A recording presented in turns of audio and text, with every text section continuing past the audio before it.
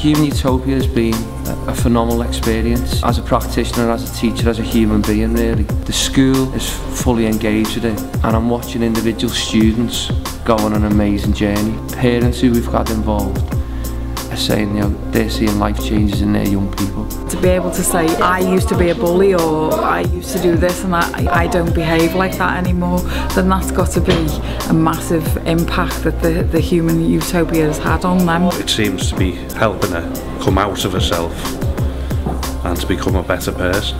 Staff are, are really beginning to engage and really beginning to understand it the benefits. We're only trying to do the best that we can for them.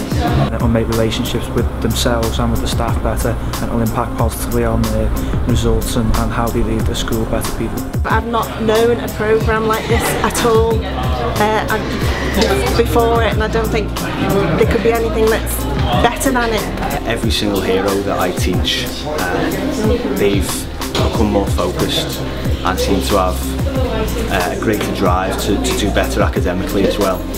But also I've seen the effect that they've had on the other students that might not have decided to take the hero's journey and the way they're trying to use their position as a hero to influence a change in their behaviour as well.